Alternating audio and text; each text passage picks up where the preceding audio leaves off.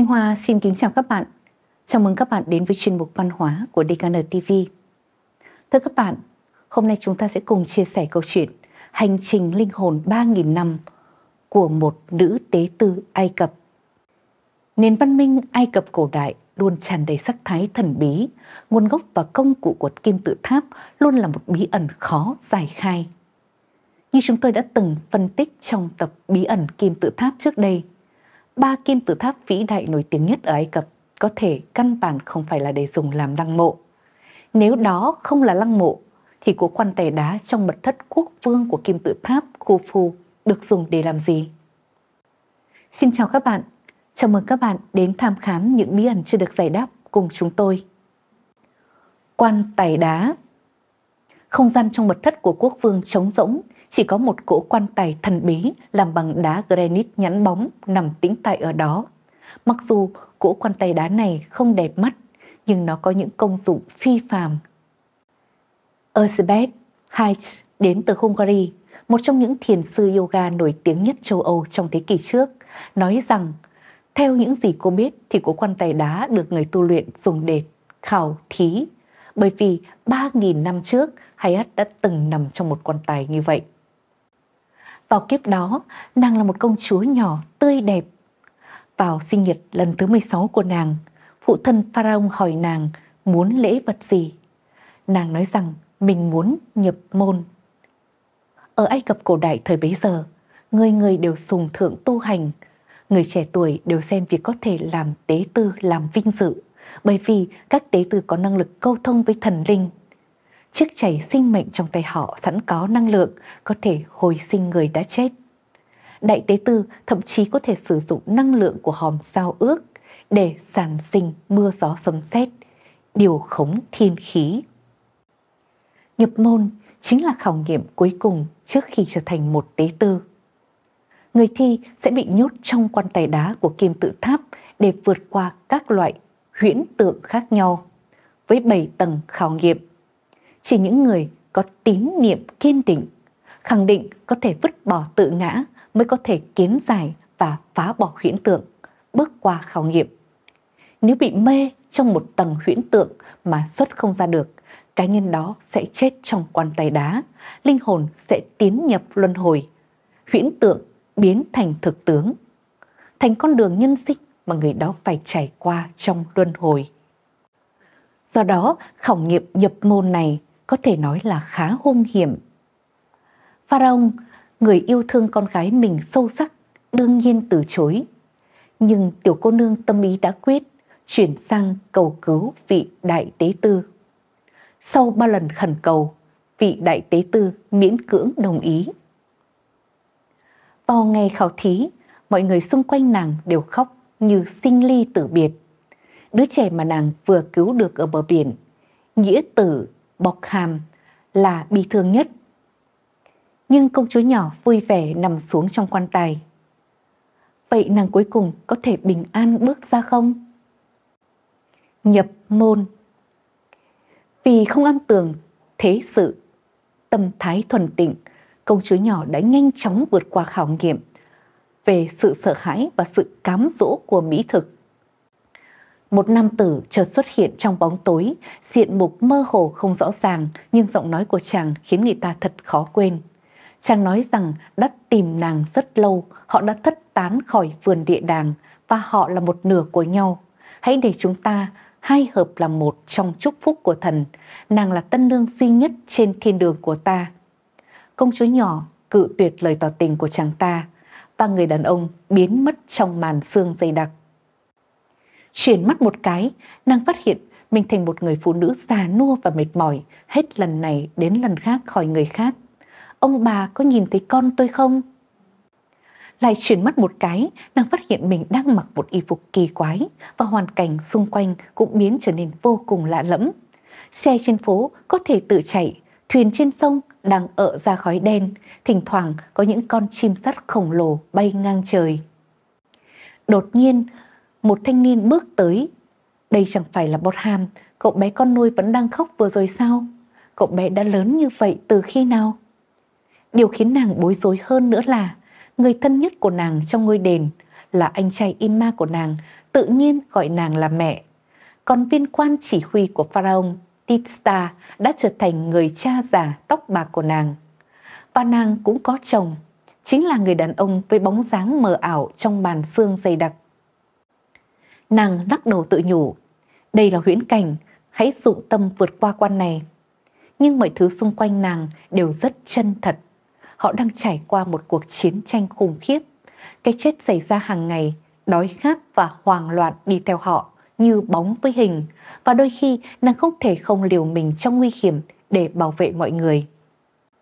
Cả gia đình trải qua bao khó khăn gian khổ, cuối cùng cũng chịu đựng được đến khi chiến tranh kết thúc. Đêm hôm đó, khi nàng quỳ trước giường con trai và cầu nguyện, hy vọng thần sẽ giúp cậu bé tìm lại tín ngưỡng mà cậu đã đánh mất trong chiến tranh, thì đột nhiên xung quanh bừng sáng và một chiếc thang với bảy tầng bậc xuất hiện. Nàng kinh qua hai lần khảo nghiệm nữa, cuối cùng cũng đã leo lên được đỉnh của bậc thang, phát hiện mình với vũ trụ hợp thành nhất thể, một loại cảm giác kỳ diệu vô tỷ. Đột nhiên, giọng nói của vị đại tế tư gọi tên nàng từ xa và kéo nàng trở lại mặt đất. Hóa ra, nàng đã vượt qua khảo nghiệm.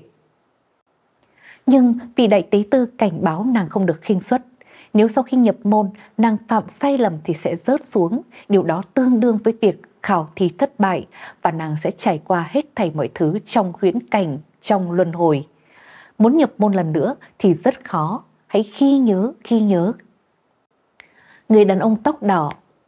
Nàng công chúa nhỏ không quá để tâm điều đó, nàng cao hứng vì đã trở thành một nữ tế tư, làm công việc đáp nghi dài hoặc trong một phòng tiếp tân nhỏ của ngôi đền. Đồng thời, vì mẹ mất sớm nên nàng cũng thay mẹ đều bầu bạn với cha, cùng phụ thân Pharaon tham dự công vụ. Ngày hôm đó, họ đã tiếp đãi một sứ đoàn ngoại quốc. Nàng choáng váng khi một vị nam tử tóc đỏ trong đó bắt đầu mở miệng nói, bởi vì đó là giọng nói của người đàn ông mà nàng nghe thấy trong quan tài. Tuy nhiên, lúc đó chàng ta đối với nàng lại kiêu ngạo và vô lý khiến nàng rất khó chịu. Vào buổi tối, người đàn ông tóc đỏ đến phòng tiếp đãi của nàng để tham khảo ý kiến. Dù mấy diện kiến đã tranh cãi, nhưng điều đó không ngăn cản được anh chàng ngày nào cũng đến.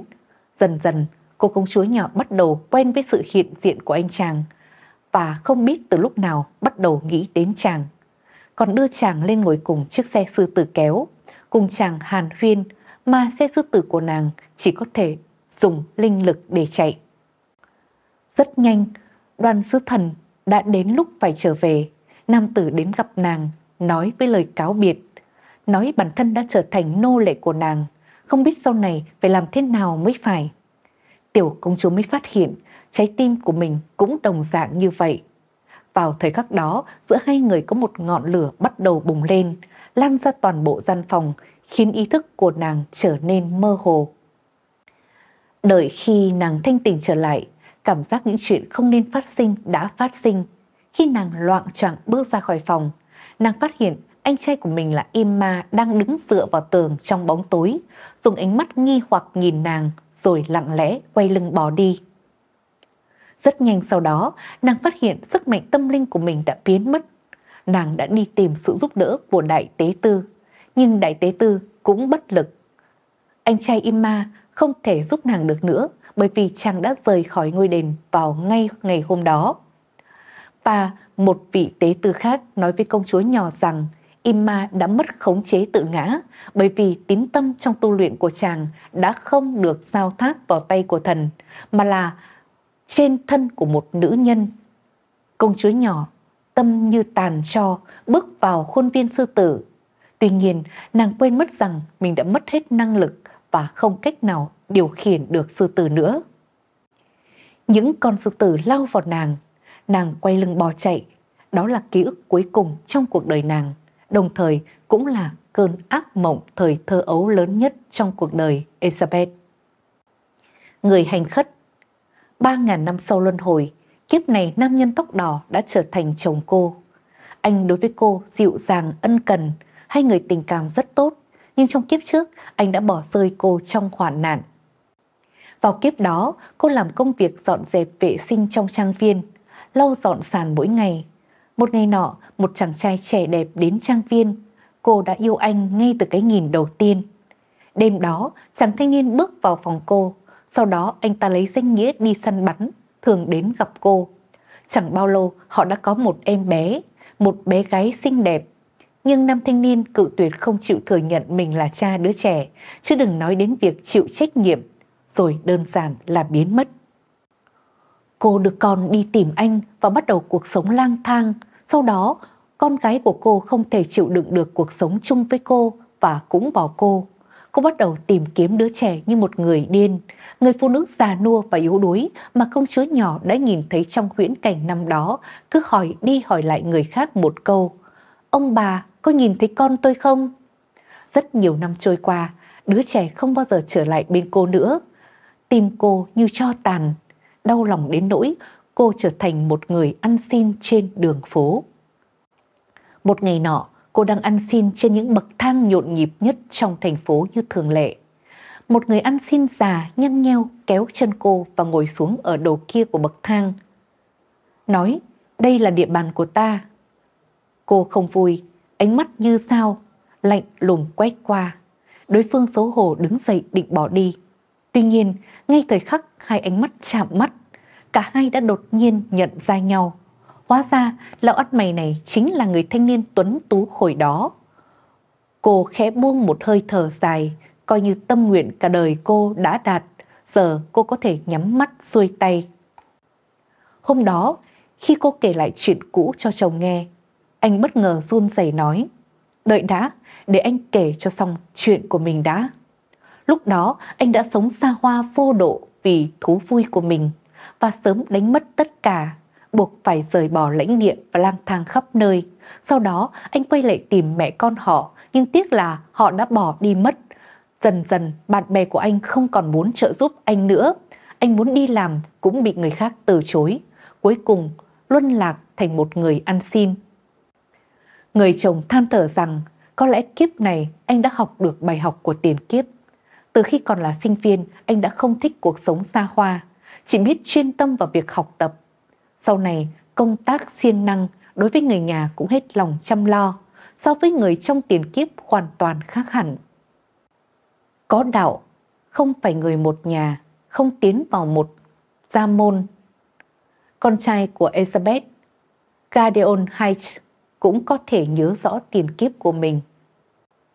Khi mới 4 hay 5 tuổi, cậu đã thích vẽ người và luôn thích vẽ họ màu nâu và đen. Năm 6, 7 tuổi, cậu bắt đầu nói mình đã có vợ con, nói rằng chúng nó đều da đen, bán khỏa thân. Họ sống trong rừng, săn bắn bằng cung tên và boomerang, sống trong những túp lều có mái nhọn và sử dụng thuyền độc mộc làm công cụ giao thông trên sông. Lúc đó, cậu bé chưa bao giờ xem qua bất kỳ cuốn sách nào về châu Phi nhưng cậu bé đã vẽ nên cuộc sống của những người da đen bản địa châu Phi một cách sống động. Sau khi gia đình mua một chiếc thuyền, cậu biết chèo thuyền mà không cần được dạy. Năm cậu 15 tuổi, cậu được mua tặng một chiếc trống to. Cậu bé mừng rỡ đến nỗi vừa đánh trống vừa khóc, nói rằng đó là tiếng trống của quê hương cậu. Trường hợp của Gadeon sau đó đã được chuyên gia nổi tiếng về luân hồi tiến sĩ Ian Stevenson thu thập vào một cuốn sách. Vì là chuyển sinh giữa các chủng tộc khác nhau, hơn nữa khoảng cách rất xa lại là trường hợp đặc biệt nên thường được mọi người đề cập. Sau đó trong một lần linh thị, Elizabeth nhìn thấy rằng Gedeon hóa ra là Imma, anh trai nguyên lai của cô. Sau khi Imma bỏ đi, chàng đến một bộ tộc của những người da đen bản địa chàng đã chữa bệnh cho họ và dạy họ tri thức văn hóa. Người bản xứ như những đứa trẻ tôn sùng chàng, dần dần chàng yêu mến bộ tộc này, kết hôn, sinh con và sống ở đây. Sau này chàng cũng luôn chuyển sinh ở đây tựa hồ như đã quên mất mình là ai. Nhưng cuối cùng duyên phận đã mang chàng trở lại với công chúa nhỏ mà chàng đã tâm tâm niệm niệm.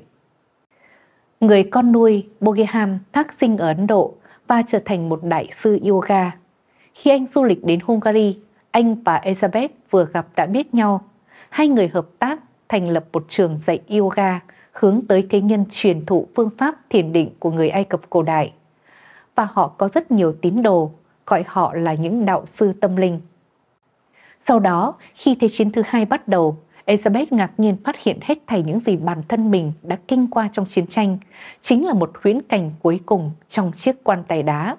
Trong tâm không khỏi cảm xúc dâng trào, không biết sự phục hồi ký ức này phải chăng là ý vị rằng cô lại đang lần nữa vượt qua khảo nghiệm nhập môn. Sau chiến tranh, cô đã tự mình biên soạn cuộc đời trong quá khứ và tương lai của mình thành một cuốn tự truyện có tên Initiation, tức là nhập môn. Trong cuốn sách đó, cô nói rằng đôi khi cô thực sự tự hỏi liệu mình có phải đang nằm trong quan tài đá, đang trải qua bài khảo nghiệm nhập môn hay không? Là huyễn cảnh hay hiện thực? Đâu mới là thời điểm thực tại? 3.000 năm trước hay 3.000 năm sau? Đâu mới là chân ngã?